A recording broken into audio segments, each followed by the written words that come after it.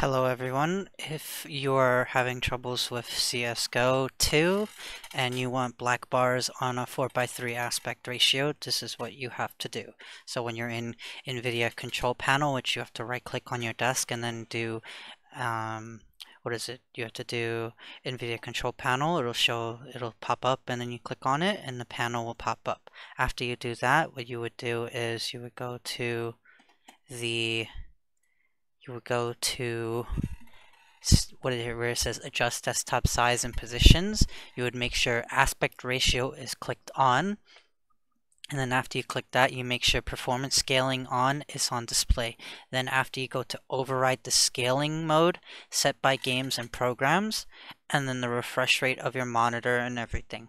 And then it should be good. It should display it for you when you go back into the game and set it up by 4 by 3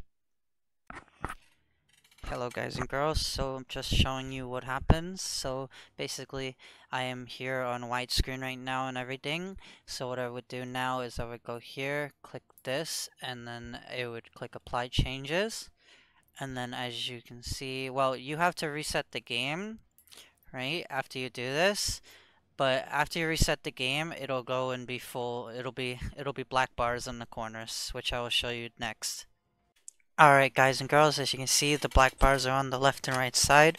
This is currently my settings and yeah, if you guys have any questions, just do in the comments section below and I might be able to help out if there's any issues. And that's how you get the black bars.